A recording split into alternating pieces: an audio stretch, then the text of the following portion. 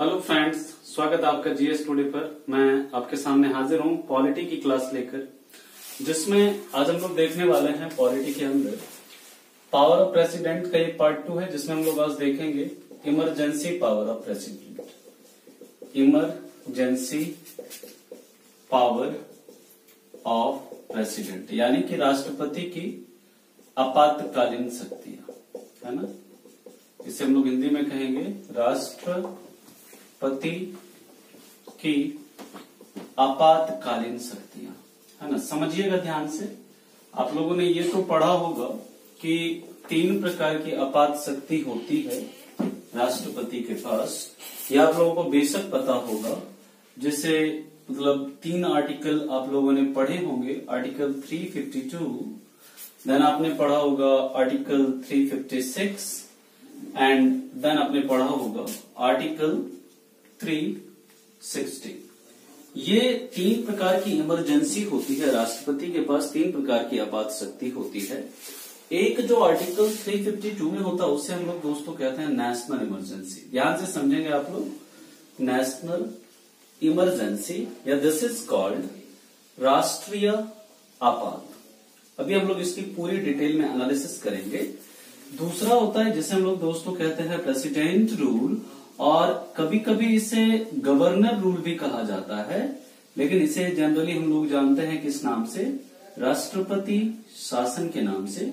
And third one is called याद रखेंगे इसे कहते हैं हम लोग फाइनेंशियल इमरजेंसी फाइनेंशियल इमरजेंसी और दिस इज़ कॉल्ड वित्तीय आपात। सबसे बेसिक चीज़ है तो आपको ये याद रखनी है, सबसे पहली बात कि राष्ट्रपति के पास तीन प्रकार की आपात शक्ति होती है। सबसे पहला जो आपातकालीन शक्ति होता है आर्टिकल 352 के तहत दी गई है, जिसे राष्ट्रीय आपात कहते हैं। दूसरा आर्टिकल 356 के तहत दिया गया, जिसे राष्ट्रपति शासन कहते हैं, और तीसरा आर्टिकल 360 है, जिसे हम लोग क्या कहते हैं फाइनेंशियल इमरजेंसी या वित्तीय आपात कहते हैं। इसके अलावे भी राष्ट्रपति के पास और भी कई सारी विशेष शक्तियाँ हैं, कुछ प्रिविलेजेस दिए गए हैं, ठीक है ना? जैसे वो दो आंग्ल भारतीयों को मनोनीत कर सकते हैं कहाँ पर? लोकसभा के अंदर, और बारह सदस्यों को राज्यसभा में क्या कर सकते हैं? मनोनीत कर सकते हैं। वो तीनों फोर्स के सुप्रीम कमांडर होते हैं, तीनों आर्म्ड फोर्स जो होते हैं, उनके सुप्रीम कमांडर होते हैं। वो लोकसभा का सेशन बुलाते हैं और उसके समाप्ति की घोषणा करते हैं। और भी ऐसी कई सारी विशेष प्रिविलेजेस हैं, कुछ विशेष पावर्स भी हैं जिसकी हम लोग चर्चा करेंगे। बट उसके पहले हमें इन तीनों को समझना पड़ेगा what is national emergency what is 356 and what is 360 इसकी हम लोग चर्चा करते हैं। फिर हम लोग मूव करेंगे इसके आगे की और हम लोग चलेंगे। देखेंगे इसके आगे की कहानी क्या होती है। एक एक करके हम लोग इन सभी को देखने का प्रयास करते हैं। ठीक है? चलिए। तो सबसे पहला है हमारा नेशनल इमरजेंसी या राष्ट्रीय आपात। अब आपको ध्यान से समझना है चीज़ों को। ये तीन आर्टिकल तो आपको याद रखने ही रखने हैं because these three articles are very very important for your examination point of view यहाँ से काफ़ी बार आपके परीक्षा में प्रश्न पूछे गए हैं। आर्टिकल 360 क्या है? आर्टिकल 360 352 क्या है? 356 क्या है? ऐसी कई सारे सवाल पूछे गए हैं। ठीक है ना? अब हम लोग सबसे पहले बात करते हैं आर्टिकल 352 यानी that is called national emergency सबसे पहला सवाल तो आप ये याद रखेंगे, ये जो नेशनल इमरजेंसी है, ये किस ग्राउंड पर लगाया जाता है? इसका आधार क्या होता है? What is basis of national emergency ठीक है? याद रखेंगे नेशनल इमरजेंसी का जो ग्राउंड होता है, इसका जो आधार होता है, ये इम्पोज कौन करता है? ये करता है राष्ट्रपति। लेकिन इसका, इसके डिक्लेरेशन की घोषणा कौन करता है? याद रखेंगे, इसके डिक्लेरेशन की घोषणा राष्ट्रपति करता है। बट इसका आधार क्या होता है? इसके जो आधार होता है दोस्तों, याद रखेंगे, तीन आधार होता है। सबसे पहला, एक तो क्या होता है कि मान के चलिए वॉर हो जाए, यानी कि युद्ध हो सबसे पहली बात याद रखेंगे। दूसरा, याद रखेंगे कि एक्सटर्नल एग्रेशन यानी कि बाह्य आक्रमण हो जाए। एक्सटर्नल एग्रेशन का मतलब क्या? कोई बाहरी शत्रु देश या कोई देश क्या करे? हमारे देश के ऊपर क्या कर दे? अटैक कर दे या आक्रमण कर दे। ये दूसरा कंडीशन होता है। और तीसरा कंडीशन होता है दोस्तों, याद रखेंगे, जिसे हम लोग बोलते हैं आर्म्ड रेबेलियन क्या कहा जाता है? आर्म्ड रेबेलियन या फिर इसे कहा जाता है दोस्तों, सशस्त्र विद्रोह। क्या कहते हैं इससे हम लोग? दिस इज़ कॉल्ड सशस्त्र विद्रोह। ध्यान से समझिए। इस तीन ग्राउंड के ऊपर क्या किया जा सकता है? नेशनल इमरजेंसी को डिक्लेयर कर सकते हैं कौन? हमारे देश के जो राष्ट्रपति होते हैं। वॉर का मतलब कि किसी देश के साथ हमारा युद्ध चल रहा हो तो दूसरा, कोई बाहरी देश हमारे देश के ऊपर क्या कर दे? आक्रमण कर दे। और तीसरा आर्म्ड रिबेलियन यानी कि हमारे देश के अंदर जो देश की जनता है, वो शस्त्र के साथ, शस्त्र के साथ मतलब कि हथियार के साथ, आम के साथ क्या करते सरकार के विरोध में मतलब सरकार के विरोध, सरकार का विरोध या देश के अंदर क्या करते हिंसा करना शुरू कर दे। तो उस केस में क्या होता है? राष्ट्रीय आपात लगाया जा सकता है। लेकिन आपको यहाँ पर ये चीज़ याद रखना है कि ये जो आर्म रिबेलियन या सशस्त्र विद्रोह वर्ड है, इस वर्ड को कब जोड़ा गया? याद रखेंगे दोस्तों, इस वर्ड को जोड़ा गया forty fourth this is added by point आप याद रखेंगे this is added by forty fourth constitutional amendment 1978 इसे कब जोड़ा गया? चौवालीसवें संविधान संशोधन 1978 के द्वारा जोड़ा गया था। और यहाँ पर एक चीज़ और भी याद रखेंगे दोस्तों कि ये जो चौवालीसवा, ये जो संविधान संशोधन होता है, हमारे संविधान के अंदर, वो किस आर्टिकल के तहत होता है? आर्टिकल 368 के तहत होता है। इस चीज़ को भी आपने याद रखना है। और याद रखेंगे दोस्तों कि before 19 before forty fourth constitutional amendment यहाँ पर क्या वर्ड था? याद रखेंगे एक चीज़ कि बिफोर 1978 या before forty fourth constitutional amendment, यहाँ पर जो वर्ड था वो क्या था? इंटरनल अनरेस्ट था। इंटरनल अनरेस्ट या जिसे हम लोग कहते हैं आंतरिक अशांति। क्या था? आंतरिक अशांति था, यहाँ पर ये वर्ड था। ठीक है? आंतरिक अशांति वर्ड था, ठीक है? इस आधार पर नेशनल इमरजेंसी लगा, पहले लगाया जाता था। लेकिन इसकी जगह पर चौवालीसवें संविधान संशोधन के बाद इंटरनल अनरेस्ट को हटाकर क्या लगा दिया गया? वहाँ पर आर्म्ड रिबेलियन लगा दिया गया। क्यों? क्योंकि जब 1975 में जो नेशनल इमरजेंसी लगाई गई थी, किसके द्वारा? इंदिरा गांधी के द्वारा। आपको ये पता होगा कि नेशनल इमरजेंसी अभी तक जो हमारे देश में लगाई गई है, वो कितनी बार? तीन बार लगाई गई है है ना? तीन बार कब एक तो 1962 में दूसरा कब 1971 में और तीसरा कब 1975 में। ये दोनों जो केस थे 1962 का वैलिड केस था, ये वैलिड केस क्या था कि इंडिया और चाइना के बीच क्या चल रहा था? वॉर चल रहा था 1962 में। तो इस ग्राउंड पर वॉर वाले ग्राउंड पर क्या लगा दिया गया था? इमरजेंसी लगा दिया गया था। दूसरा जो 1971 में जो इमरजेंसी लगाया गया था, यहाँ पर इंडो पाक वॉर चल गया, चल रहा था। वो बांग्लादेश वाले मुद्दे पर, जो बांग्लादेश को आज़ादी वगैरह दिलाना था, उसके कारण जो 1971 में इंडो पाक वॉर चल रहा था, इस आधार पर यहाँ पर इमरजेंसी लगाई गई थी। और 1975 में इस मुद्दे को बेस बनाकर क्या किया था? इंदिरा गांधी ने इमरजेंसी लगाने की कोशिश की थी। बट बाद में उनको मतलब क्या हुआ था? उनका जो मतलब एक तरह से कह सकते हैं कि जिस आधार पर उन्होंने लगाया था वो उस, उनको वो साबित नहीं कर पाते और उनको बाद में अपनी सरकार से इस्तीफा भी देना पड़ जाता है। तो इस कारण से काफ़ी विवाद हुआ था 1975 में। तो उसके बाद इस वर्ड को क्या किया गया? 78 में जो कॉन्स्टिट्यूशनल अमेंडमेंट होता है वहाँ पर इसे हटाकर क्या कर दिया गया? आर्म्ड रेबेलियन कर दिया गया। अब आपको समझना है कि आखिर जब नेशनल इमरजेंसी लगती है तो उस केस में होता क्या है आखिर ऐसा? कौन कौन सी हमारी शक्तियाँ या हमारे कौन कौन से अधिकार छिन जाते हैं? ये सवाल यहाँ पर उठता है। तो सबसे पहली बात तो आपने याद ये रखनी है कि जो आर्टिकल जब भी आपकी, जब भी देश के अंदर इमरजेंसी लगाई जाती है चाहे वो वॉर या एक्सटर्नल एग्रेशन के आधार पर लगाई गई। यानी कि अगर इस दो ग्राउंड पर अगर एक्सटर्नल एग्रेशन या वॉर के ग्राउंड पर नेशनल इमरजेंसी लगाई जाती है तो इस दौरान याद रखेंगे आर्टिकल 19 जो है आर्टिकल 19 वो क्या होगा? वो सस्पेंड तो हो ही जाता। आर्टिकल 19 तो सस्पेंड होगा ही होगा। ठीक है ना?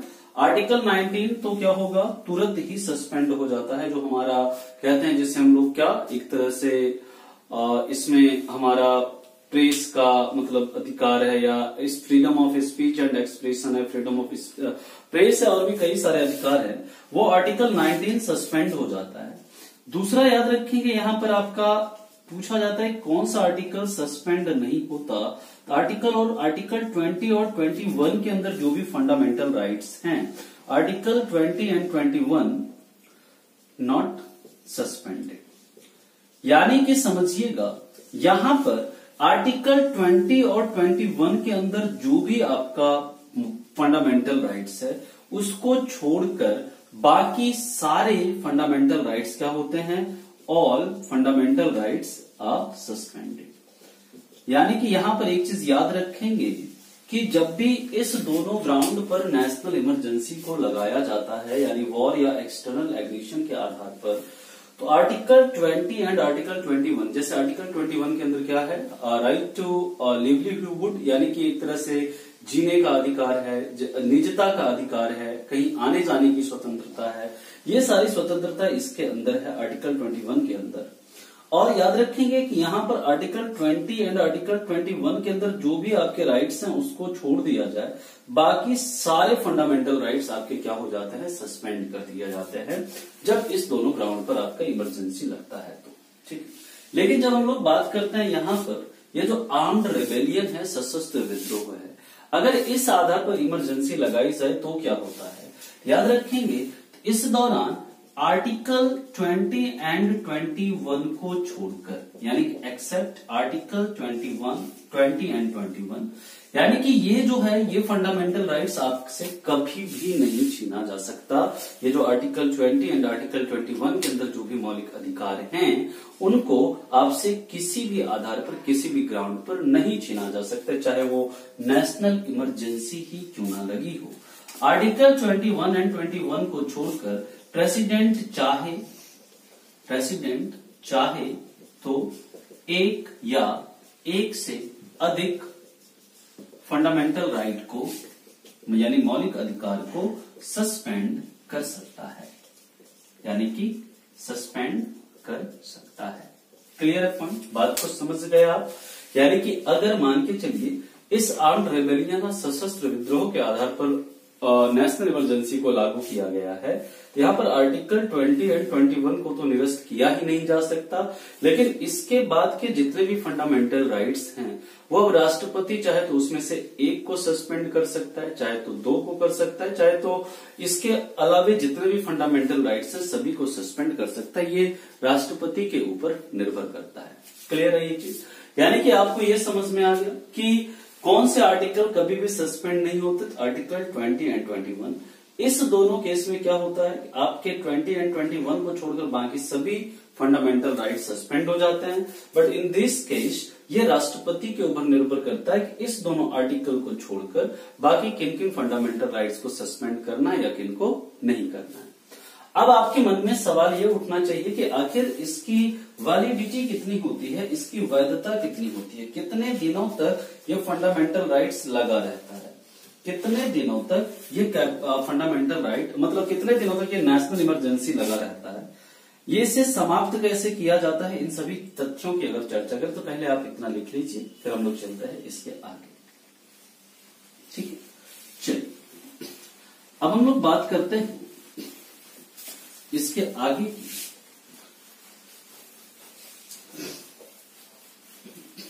कभी भी याद रखेंगे, जो राष्ट्रपति शासन लगता है, इसके लिए आप नोट कर लेंगे पॉइंट को। राष्ट्र सॉरी इमरजेंसी राष्ट्रीय आपात जब भी लगता है राष्ट्रीय आपात के लिए आप एक पॉइंट याद कर लेंगे, लिख लेंगे। कभी भी राष्ट्रीय आपात कैबिनेट के लिखित सलाह पर। रिटर्न रिकमेंडेशन ऑफ़ कैबिनेट ज़रूरी है। यानी कि कैबिनेट की लिखित सलाह आवश्यक है किसके लिए? नेशनल इमरजेंसी के लिए। ठीक है? याद रखेंगे। राष्ट्रपति यानी प्रेसिडेंट कैबिनेट की लिखित सलाह पर कैबिनेट की लिखित सलाह पर किसकी घोषणा करता है? राष्ट्रीय आपात की घोषणा करता है। यानी president declare national emergency on the return recommendation of cabinet राष्ट्रीय आपात की घोषणा करता है। हिंदी, इंग्लिश में आप इसे लिख सकते हैं कि president declare national emergency on the recommendation of on the recommendation of cabinet अब याद रखेंगे, जैसे ही प्रेसिडेंट डिक्लेयर करेगा तो ये जो घोषणा है, अगले एक माह के लिए प्रभावी हो जाएगी। This declaration this declaration is valid this declaration is come into effect, come into effect for next one month. यानी कि ये घोषणा जो है, अगले एक माह के लिए प्रभावी हो जाएगी, हिंदी में ऐसे लिख सकते हैं। यह घोषणा अगले एक माह के लिए क्या हो जाएगी? प्रभावी हो जाएगी। यानी कि अगर राष्ट्रपति ने डिक्लेयर किया आज तो ये ऑटोमेटिकली एक माह तक क्या हो जाएगी? लागू हो जाएगी। ठीक है अब अगर, याद रखेंगे if parliament passed this declaration if parliament समझेंगे सभी तथ्यों को if parliament passed this declaration by two by third majority यानी कि by special majority two by third majority then it will extended then it will extended for six months otherwise otherwise lapse. यानी कि इसका मतलब क्या हिंदी में लिख लेंगे, अगर संसद इस घोषणा को, हिंदी में लिख लेंगे अगर संसद इस घोषणा को दो तिहाई बहुमत से पारित कर दे तो ये अगले सिक्स मंथ के लिए, यानी कि अगले छह माह के लिए प्रभावी हो जाएगी या फिर निरस्त हो जाएगी। ठीक है इन सभी तथ्यों को हम लोग समझेंगे। देखिए, यानी कि जैसे राष्ट्रपति ने आपात की घोषणा करी, ठीक है? घोषणा करने के साथ ही वो एक महीने के लिए क्या हो जाएगी? लागू हो जाएगी। अब अगर इस वन मंथ के अंदर within this one month अगर पार्लियामेंट क्या करता है, जो राष्ट्रपति का राष्ट्रपति का जो डिक्लेरेशन है, उस यानी कि जो नेशनल इमरजेंसी का डिक्लेरेशन है, उसे राष्ट्र, अगर संसद कितने बहुमत से, दो तिहाई बहुमत, यानी टू बाई थर्ड मेजोरिटी यानी कि स्पेशल मेजोरिटी से, क्या करते हैं पारित कर देता है तो ये अगले सिक्स मंथ के लिए क्या हो जाता है, लागू हो जाता है। अगर ये दो तिहाई बहुमत से संसद से पारित नहीं हुआ, याद रखेंगे, इसे फिर क्या कर दिया जाता है, इसे निरस्त कर दिया जाएगा यानी कि नेशनल इमरजेंसी जो है वो क्या हो जाएगा? समाप्त हो जाएगा फिर, ठीक है? अब अगर हम लोग बात करें, अगर इस सिक्स मंथ के बाद भी, याद रखेंगे, अगर पार्लियामेंट चाहे तो इस नेशनल इमरजेंसी को हर छह महीने में क्या कर, हर सिक्स मंथ में पास कर और उस पर राष्ट्रपति की मंजूरी लेकर अनलिमिटेड टाइम के लिए नेशनल इमरजेंसी को क्या कर सकता है? लगा सकता है। क्लियर है पॉइंट तो इस पॉइंट को आप लोग नोट कर लेंगे।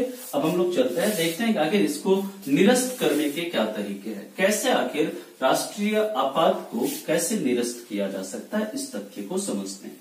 ध्यान से सभी लोग समझेंगे इसे।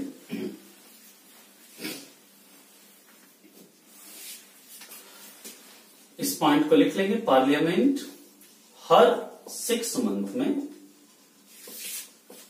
हर सिक्स मंथ में नेशनल इमरजेंसी को पास करके नेशनल इमरजेंसी को पास करके अनलिमिटेड टाइम के लिए, अनलिमिटेड टाइम के लिए एक्सटेंड कर सकता है। एक्सटेंड कर सकता है, यानी कि लागू कर सकता है या आगे बढ़ा सकता है। ठीक है? अब ये सस्पेंड कैसे होता है? सस्पेंशन ऑफ़ नेशनल इमरजेंसी, यानी कि नेशनल इमरजेंसी समाप्त कैसे होता है? राष्ट्रीय आपात की घोषणा कैसे समाप्त होती है? राष्ट्रीय आपात देश में कैसे समाप्त होता है? तो इसके दो तरीके सबसे पहला तरीका याद रखेंगे president withdraw president withdraw his declaration, यानी कि कह सकते हैं कि राष्ट्रपति अगर अपनी घोषणा वापस ले ले, हिंदी में लिख लेंगे, राष्ट्रपति अपनी घोषणा क्या कर ले, वापस ले ले। यानी राष्ट्रपति ने कह दिया कि नहीं, आज से क्या हो गया? राष्ट्रीय आपात की घोषणा को मैं क्या करता हूँ? वापस लेता हूँ। यानी कि राष्ट्रीय आपात समाप्त हो गया ऐसा राष्ट्रपति कहे तो ये क्या होगा? नेशनल इमरजेंसी फिनिश समाप्त हो जाएगा। और दूसरा if Lok Sabha passed if Lok Sabha passed the resolution of suspension of resolution of suspension of national emergency by simple majority national emergency by simple majority समझना है यानी कि अगर यहाँ पर समझेंगे ध्यान से कि अगर लोकसभा यहाँ पर देखिए मैंने संसद नहीं लिखा है यहाँ पर वनली मैंने क्या लिखा है लोकसभा यानी कि अगर लोकसभा जो सस्पेंशन है, यानी कि राष्ट्र, जो राष्ट्रीय आपात है, उसको सस्पेंड करने का, यानी उसको समाप्त करने का जो रिजोल्यूशन है, उसे किस मेजोरिटी से? साधारण बहुमत से। अगर क्या कर दे, पारित कर दे तो भी क्या हो सकता है? राष्ट्रीय आपात को समाप्त किया जा सकता है। ये चीज़ आप यहाँ पर गौर करेंगे कि एक तो प्रेसिडेंट चाहे तो अपने डिक्लेरेशन को वापस लेकर क्या कर सकता है? राष्ट्रीय आपात को समाप्त कर सकता है। दूसरा, आप यहाँ पर ये चीज़ नोटिस करेंगे कि जब हमें राष्ट्रीय आपात को इम्पोज करना था या उसे एक्सटेंड करना था तो उसे टू बाय थर्ड मेजोरिटी से पास किया जा रहा था और किसके द्वारा पास किया जा रहा था? पूरी संसद के द्वारा। यानी कि पूरे पार्लियामेंट के द्वारा किया जा रहा था। बट इन सस्पेंशन यानी जब सस्पेंशन का केस होता है, यानी कि जब उसे निरस्त करने की बात आती है तो सिर्फ़ कहाँ से पास कराया जाता है? ओनली फ्रॉम लोकसभा और by which majority by simple majority से पास कराकर उसे समाप्त किया जा सकता है। क्लियर है पॉइंट यहाँ पर एक चीज़ आप हमेशा याद रखेंगे कि जब भी नेशनल इमरजेंसी लगती है या जब भी नेशनल इमरजेंसी पूरे देश में इम्पोज होता है, उस दौरान याद रखेंगे सुप्रीम कोर्ट और उसकी स्क्रूटनी इसके अंदर नहीं आती है। इस पॉइंट को लिख लेंगे। सुप्रीम कोर्ट सुप्रीम कोर्ट और उसकी स्क्रूटनी सुप्रीम कोर्ट और उसकी स्क्रूटनी, यानी कि उसके अंदर काम करने वाली जो मतलब जो लोग हैं, उसकी स्क्रूटनी इसके दायरे में नहीं आते, यानी इस नेशनल इमरजेंसी के दायरे में नहीं आते। यानी कि supreme court as it is अपना काम करता रहेगा, उसके काम में कोई भी दखल अंदाजी नहीं होनी चाहिए। ठीक है ना? तो ये आपको नेशनल इमरजेंसी के बारे में इन सभी तथ्यों को याद रखना है। अब हम लोग बात करेंगे दोस्तों इसके आगे, जो कि हमारा अगला मुद्दा है, जिसका नाम है प्रेसिडेंट रूल ठीक है? यहाँ तक आप लोगों को समझ में आ गया होगा, बाकी अगर किसी को भी कोई डाउट रहता है तो आप आराम से कमेंट में बताकर हमसे पूछ सकते हैं। और मैं कमेंट में प्रयास करता हूँ कि सभी बच्चों का मैं जवाब दे पाऊँ। अब हम लोग बात करते हैं प्रेसिडेंट रूल की। तो देखिए प्रेसिडेंट रूल क्या होता है? तो अभी अभी हम लोगों ने देखा है कि प्रेसिडेंट रूल जो आता है वो किसमें आता है? आर्टिकल 356 में आता है। है? इस चीज़ को तो हम लोगों ने अभी अभी देखा है। लगाया जाता है। क्या कारण होते हैं इसके पीछे? इसकी अगर चर्चा की जाए, यानी राष्ट्रपति शासन, सबसे पहले कहाँ लगा था, कब लगा था, है ना? लगता है तो इसके पीछे क्या क्या स्टोरी होती है? इसकी अगर चर्चा करें तो याद रखना है, सबसे पहले कि प्रेसिडेंट रूल लगने का जो रीजन होता है फेल्यूर ऑफ़ इसका जो ग्राउंड होता है failure of failure of constitutional machinery constitutional constitutional machinery in state यानी कि किसी राज्य में संवैधानिक तंत्र की विफलता किसी राज्य में संवैधानिक तंत्र की विफलता। यानी कि याद रखेंगे यहाँ पर कि अगर, यहाँ पर पॉइंट आप लोग याद रखेंगे कि अगर राष्ट्रपति को गवर्नर के द्वारा या किसी अन्य माध्यम से, ध्यान से समझेंगे, आप लोगों ने जब हम लोग आगे चलेंगे गवर्नर के बारे में पढ़ेंगे तो गवर्नर जो होता है एक्चुअल में क्या होता है वो सेंटर का एजेंट होता है या राष्ट्रपति का एक आदमी होता है। राष्ट्रपति का एक क्या कह सकते हैं कि राष्ट्रपति का एक तरह से हर स्टेट में नज़र रखने वाला कि किसी भी स्टेट में जो सरका, सरकारी तंत्र है या जो गवर्नमेंट बॉडी है या कोई भी जो काम काज हो रहा है वो संविधान के अकॉर्डिंग हो रहा है कि नहीं।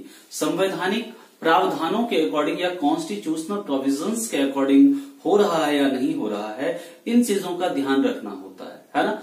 और अगर गवर्नर ने राष्ट्रपति को लिखित में या और किसी भी अन्य माध्यम से राष्ट्रपति के पास ये सूचना आती है कि किसी भी राज्य में क्या है कोई भी मतलब आ, काम धाम या कोई भी आ, जो आ, मतलब कार्य हो रहा है वो कॉन्स्टिट्यूशन के अकॉर्डिंग नहीं हो रहा है। वहाँ पर कॉन्स्टिट्यूशन की धज्जियाँ उड़ाई जा रही है तो इस केस में राष्ट्रपति क्या कर सकता है? उस पार्टिकुलर स्टेट में या एक से ज़्यादा स्टेट में भी क्या कर सकता है? प्रेसिडेंट रूल को इम्पोज कर सकता है। ठीक है? लेकिन, याद रखेंगे यहाँ पर इस पॉइंट को, ये जो अगर गवर्नर की रिपोर्ट या किसी अन्य माध्यम से इस पॉइंट को आप लोग लिख लेंगे, मैं बोल दे रहा हूँ, अगर गवर्नर के रिपोर्ट या किसी अन्य माध्यम से लिख लेंगे पॉइंट को, अगर गवर्नर की रिपोर्ट या किसी अन्य माध्यम से राष्ट्रपति को ये पता चलता है कि राज्य की जो मतलब बॉडी है, राज्य की जो गवर्नमेंट है वो संविधान के अकॉर्डिंग नहीं चल रही है कॉन्स्टिट्यूशनल प्रोविजंस के अकॉर्डिंग नहीं चल रही है तो राष्ट्रपति उस राज्य में राष्ट्रपति शासन लागू कर सकता है। इस पॉइंट को आप लिखेंगे और इसके बाद लिखेंगे कि ये डिक्लेरेशन यानी कि ये घोषणा राष्ट्रपति शासन की, ये डिक्लेरेशन अगले दो माह के लिए, दो माह के लिए, दो मंथ तक क्या रहेगी? इफ़ेक्टिव रहेगी। अगले दो मंथ तक क्या रहेगी? इफ़ेक्टिव रहेगी इस चीज़ को याद रखेंगे। और याद रखेंगे, इसके बाद अगर पार्लियामेंट इस डिक्लेरेशन को, अगर पार्लियामेंट इस डिक्लेरेशन को, यानी इस घोषणा को दो मंथ के अंदर पास कर दे टू मंथ के अंदर क्या कर दे? पास कर दे, यानी पारित कर दे तो ये सिक्स मंथ के लिए क्या हो जाएगी? अगले छह माह के लिए प्रभावी हो जाएगी, यानी इफ़ेक्टिव हो जाएगी, प्रभावी हो जाएगी अदरवाइज़ या अन्यथा क्या हो जाएगी? लेप्स हो जाएगी या निरस्त हो जाएगी। ठीक है? अन्यथा निरस्त हो जाएगी। ठीक है? अब याद रखेंगे, अब याद रखेंगे कि यहाँ पर नोट में एक पॉइंट याद रखेंगे कि अगर पार्लियामेंट ने, अगर पार्लियामेंट के द्वारा डिक्लेरेशन पास कर दी गई है तो उस स्टेट की लेजिस्लेटिव असेंबली को अगर यहाँ पर इस पॉइंट को लिख लेंगे, अगर पार्लियामेंट ने डिक्लेरेशन पास कर दी है डिक्लेरेशन पास कर दी है तो उस स्टेट की तो उस स्टेट की लेजिस्लेटिव असेंबली को, यानी विधानसभा को भंग किया जा सकता है, यानी डिसॉल्व किया जा सकता है। किया जा सकता है, यानी विघटित किया जा सकता है। भंग नहीं, यहाँ पर एक्चुअल में डिसॉल्व ही लिख लीजिए, विघटित किया जा सकता है। इस चीज़ को आप याद रखेंगे नोट में बाकायदा इस पॉइंट को लिखेंगे। अब इसका मतलब समझते हैं। यानी कि जैसे मान के चलिए राष्ट्रपति ने क्या किया, इस डिक्लेरेशन को घोषणा की प्रेसिडेंट रूल की किसी स्टेट में तो वो अगले दो मंथ तक इफ़ेक्टिव रहेगी, प्रभावी रहेगी। और अगर इस दो मंथ के अंदर पार्लियामेंट क्या करता है, उसे पास कर देता है उस राष्ट्रपति के डिक्लेरेशन को उस पर्टिकुलर स्टेट में प्रेसिडेंट रूल के लिए तो वो जो हमारा मतलब ये जो डिक्लेरेशन है, वो अगले सिक्स मंथ के लिए इफ़ेक्टिव हो जाएगी। अगर अगर पास नहीं होता है तो क्या हो जाएगी? ये लेप्स हो जाएगी, यानी समाप्त हो जाएगी। यानी राष्ट्रपति शासन जो उस राज्य में क्या हो जाएगा? समाप्त हो जाएगा। लेकिन अगर मान के चलिए संसद ने इस घोषणा को पारित किया तो ये जो हमारा राज्य के अंदर जो विधानसभा है, उस विधानसभा को विघटित किया जा सकता है। क्लियर है ना? और वहाँ पर नए चुनावों की फिर घोषणा की जा सकती है, इन तथ्यों को याद रखेंगे। अब हम लोग बात करते हैं इसके आगे कि अगर सिक्स मंथ के बाद पार्लियामेंट इस डिक्लेरेशन को एक बार दोबारा पास कर दे, फटाफट इसको लिख लेंगे आप। अब यहाँ पर मैं पॉइंट आपको लिखाऊँगा, जल्दी आपको पॉइंट नोट करना है, फिर मैं इसे समझाऊँगा।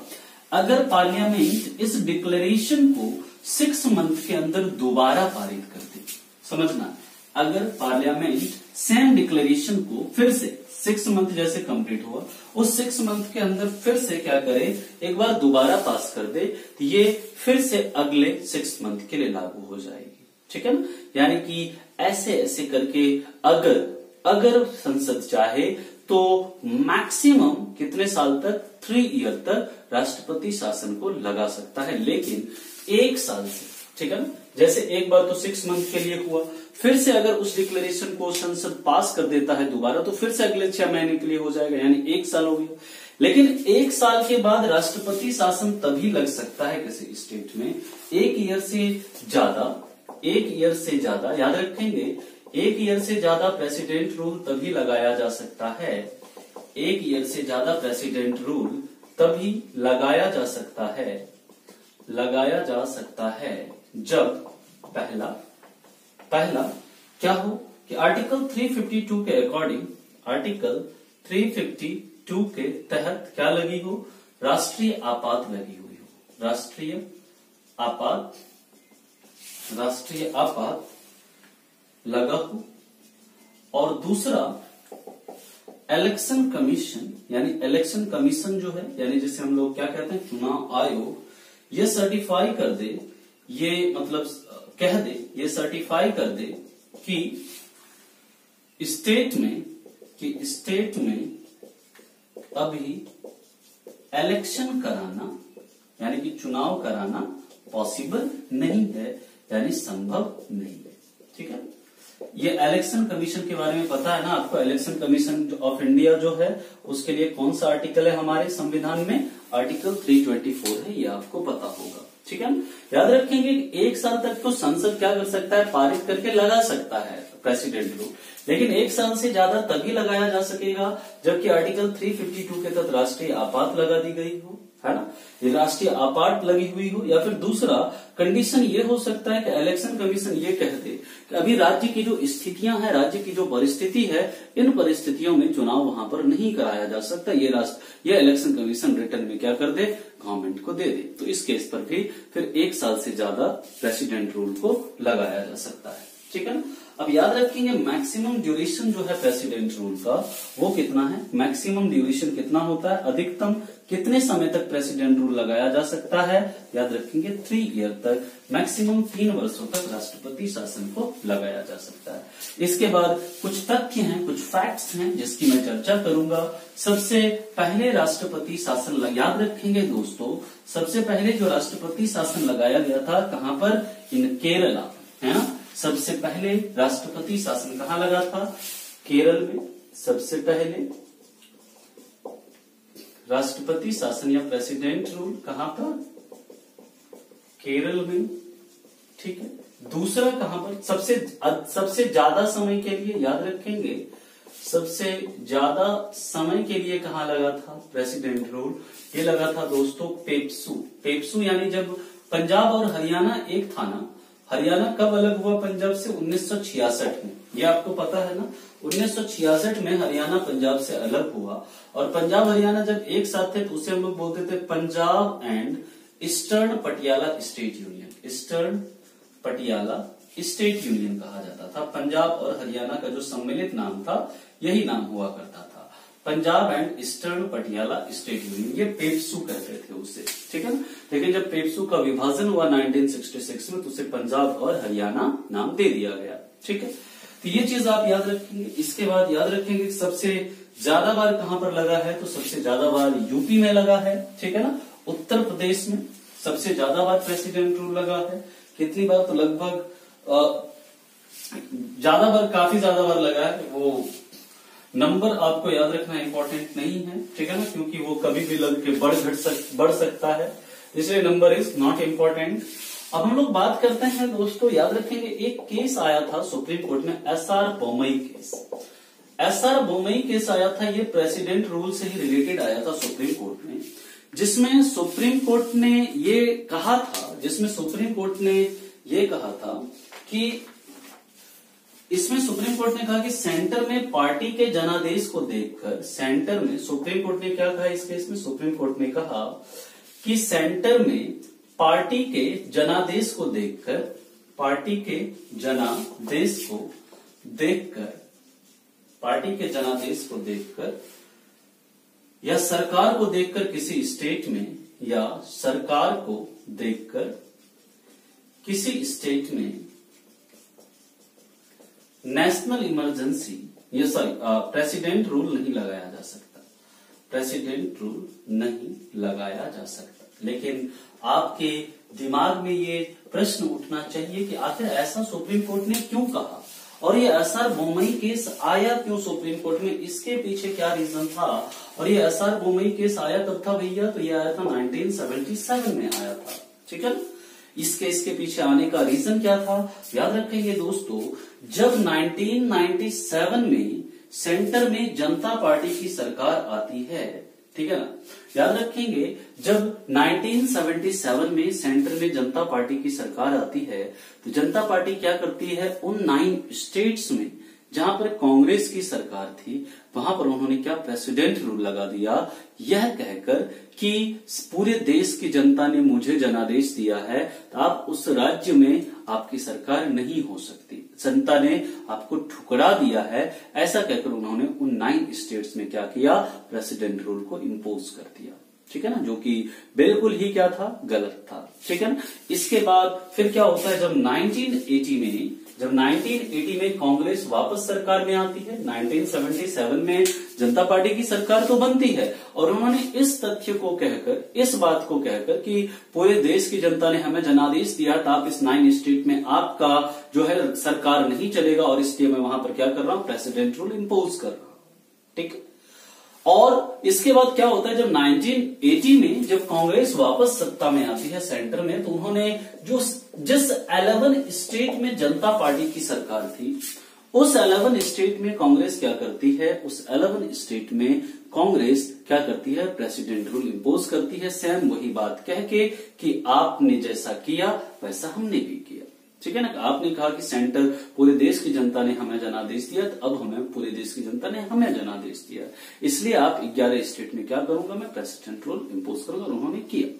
और इसी बात को लेकर ये एस आर बोमई केस आया सुप्रीम कोर्ट के अंदर। तो सुप्रीम कोर्ट सबसे पहली बार, याद रखेंगे 1998 में सबसे पहली बार हमारे देश में, सबसे पहली बार कब? 1998 में सबसे पहली बार इंडिया में इंडिया में इमरजेंसी पर, यानी कि आपात पर, इमरजेंसी पर क्या हुआ? जुडिशियल रिव्यू हुआ। इमरजेंसी पर क्या हुआ? जुडिशियल रिव्यू हुआ। इमरजेंसी पर क्या हुआ? जुडिशियल रिव्यू हुआ। और आप लोगों को पता है ना जुडिशियल रिव्यू जो है, इससे ये कहाँ से लिया है हमने? ये अमेरिका के संविधान से लिया है। न्यायिक पुनरीक्षण, इसकी चर्चा मैंने पहले भी बहुत बार करी है कि न्यायिक पुनरीक्षण जो हमेशा किसके द्वारा होता है? सुप्रीम कोर्ट के द्वारा ही किया जाता है। और न्यायिक पुनरीक्षण का जो बेस है हमारे कॉन्स्टिट्यूशन में वो कौन सा है? Article thirteen article 13 is base of judicial review in India और इसी आर्टिकल 13 के तहत क्या करता है? सुप्रीम कोर्ट जुडिशियल रिव्यू करता है हमारे देश के कई सारे कानून का। ठीक है और अगर भी कोई भी कानून अगर संविधान के अनुरूप नहीं पाया जाता है उस कानून को निरस्त भी करता है कौन? सर्वोच्च न्यायालय। ठीक है ना? जिसकी चर्चा आर्टिकल 124 में की गई है। क्लियर है ना पॉइंट यानी इन सभी फैक्ट को आपने याद रखना है, आपसे पूछा जा सकता है एस आर बोमई केस का संबंध किससे जैसे पीसीएस के आप एग्ज़ाम लिखते हैं एनडीए के सीडीएस के, ऐसे एग्ज़ाम में इन केस से संबंधित तथ्य भी पूछ दिए जाते हैं। इन केस से संबंधित ईयर्स आपसे पूछ दिए जाते हैं। दोस्तों, इन सभी तथ्यों को भी आपने याद रखना है। हम लोग बात करते हैं सबसे तीसरी इमरजेंसी की, जिसका नाम है दोस्तों फाइनेंशियल इमरजेंसी या जिसे हम लोग क्या कहते हैं, जिसे हम लोग दोस्तों बोलते हैं वित्तीय आपात। वित्तीय आपात की अगर चर्चा करें तो इसकी चर्चा किस आर्टिकल में है? इसकी चर्चा आर्टिकल 360 में है। और याद रखेंगे कि इसमें क्या होता है, ठीक है? वहाँ पर दोस्तों, ठीक है? अब इसके आगे की बात करें तो याद रखेंगे इसके अंदर वित्तीय आपात का ग्राउंड क्या होता है? इसका आधार क्या होता है? याद रखेंगे, अगर फाइनेंशियल अनस्टेबिलिटी हो फाइनेंशियल क्या हो? अनस्टेबिलिटी हो, यानी कि अगर वित्तीय अस्थिरता हो, वित्तीय अस्थिरता हो, यानी कि जो फाइनेंस कभी पैसा बहुत ज़्यादा है, कभी पैसा कम है, ये काफ़ी क्या हो, ये बहुत ज़्यादा हो, ठीक है? या फिर फाइनेंशियल क्रेडिट क्या हो, यानी सरकार के पास जो पैसे की क्या हो जाए कमी हो जाए। फाइनेंशियल क्रेडिट क्या हो? काफ़ी कम हो जाए। ठीक है? Then president can declare then president can declare तो इस केस में प्रेसिडेंट क्या करता है? फाइनेंशियल इमरजेंसी की, यानी वित्तीय आपात की घोषणा कर सकता है। ये केस इस दोनों स्थिति में राष्ट्रपति जो है वित्तीय आपात की घोषणा कर सकता है। इस तथ्य को आप याद रखेंगे। दूसरी बात आप याद रखेंगे इंडिया में अभी तक इंडिया में अभी तक फाइनेंशियल इमरजेंसी यानी वित्तीय आपात नहीं लगाया गया है। वित्तीय आपात नहीं लगाया गया है, यानी नहीं लागू किया गया है। और याद रखेंगे दोस्तों कि अगर अगर ये जो ये जो मतलब डिक्लेरेशन है ना या अगर पार्लियामेंट अगर पार्लियामेंट याद रखेंगे, अगर पार्लियामेंट इस डिक्लेरेशन को, अगर पार्लियामेंट इस डिक्लेरेशन को दो मंथ के अंदर, इस डिक्लेरेशन को टू मंथ के अंदर क्या कर दे? पास कर दे। टू मंथ के अंदर क्या कर दे? पास कर दे। तो यह अगले मतलब तो यह अनलिमिटेड टाइम के लिए क्या होती है? अनिश्चित काल के लिए लागू हो जाती है। अनलिमिटेड टाइम के लिए क्या होती है? लागू हो जाती है। और इस दौरान क्या होता है दोस्तों तो याद रखेंगे जो इस दौरान क्या होता है कि आ, मतलब लोगों के टैक्स रेट क्या होते हैं गवर्नमेंट अपना टैक्स रेट काफ़ी ज़्यादा बढ़ा देती है।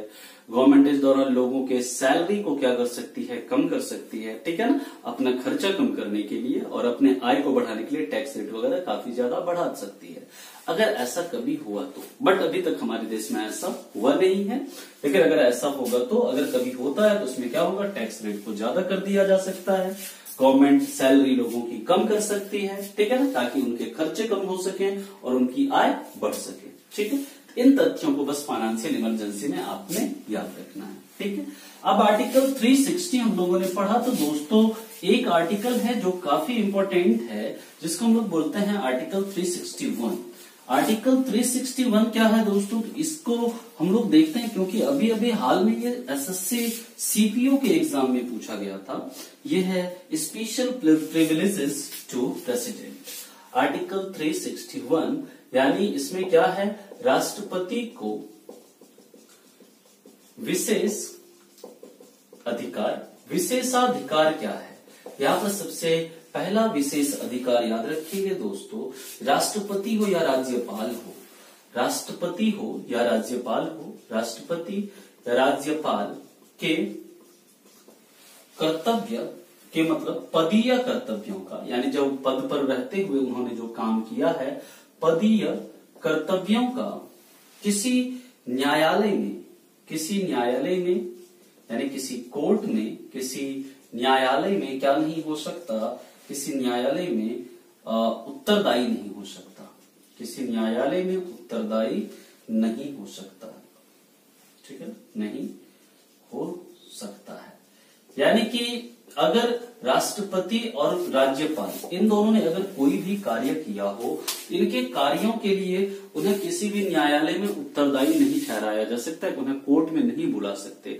आपने ये काम गलत किया है, ये काम सही किया है। अगर कोई राष्ट्रपति या कोई राज्यपाल अपने पद पर रहते हुए अपने कर्तव्यों का सही से निर्वहन किया या नहीं किया, ठीक है, आप उसके लिए उन्हें किसी कोर्ट में बुलाकर उनको उत्तरदायी नहीं ठहरा सकते। इस चीज़ के लिए सबसे पहली बात दूसरी बात याद रखेंगे, राष्ट्रपति अपने विरुद्ध, या अपने राष्ट्रपति राज्यपाल के विरुद्ध उनकी पदावधि के दौरान, यानी प्रेसिडेंट या गवर्नर, प्रेसिडेंट, गवर्नर के ऊपर, उनके कार्यकाल के दौरान, पर उनके कार्यकाल के दौरान कोई भी, कोई क्रिमिनल प्रोसीडिंग्स कोई भी क्रिमिनल कार्रवाई क्रिमिनल प्रोसीडिंग नहीं की जा सकती। कोई क्रिमिनल प्रोसीडिंग नहीं की जा सकती। और तीसरा याद रखें कि राष्ट्रपति या राज्यपाल को उनके कार्यकाल के दौरान उनकी गिरफ्तारी वगैरह नहीं की जा सकती। अगर उनके ऊपर कोई केस भी चलाना होता है, कोई अगर उनके ऊपर केस वगैरह चलाना होता है तो उसके लिए याद रखना है कि दो मंथ पहले उनको क्या करना होता है, सूचित करना क्या होता है, अनिवार्य होता है, ये आर्टिकल 361 रहता है। इन सभी तथ्यों को याद रखेंगे, क्योंकि ये अभी सीपीओ के अंदर पूछा गया और थोड़ा इंपॉर्टेंट है यहाँ से प्रश्न पूछे जाते हैं, इन सभी चीज़ों को भी याद रखेंगे। अब राष्ट्रपति के कुछ अन्य अधिकार हैं। उन सभी अधिकारों को मैं चार, पाँच अधिकार हैं जिसकी मैं चर्चा करूँगा। सबसे पहला, मैं पावर एंड ड्यूटीज़ में ये इसे मैं जल्दी जल्दी बोल देता हूँ। आप लोग इसे दोस्तों लिख लेंगे, ठीक है?